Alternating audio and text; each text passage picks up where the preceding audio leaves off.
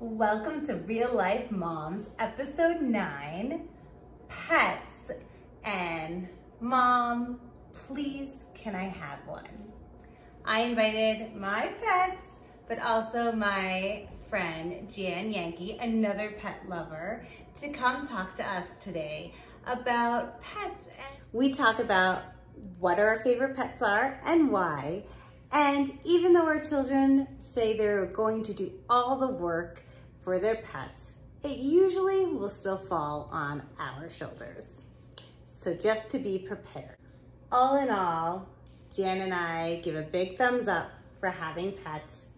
There's nothing that loves you unconditionally like your pet and never holds a grudge, never judges you, and what a special thing for your child to experience. So if you wanna hear more about our pets, what to look out for, what we love about them, then listen for the full episode.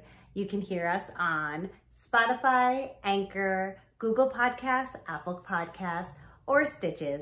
And don't forget to follow Real Life Momz so you don't miss an episode.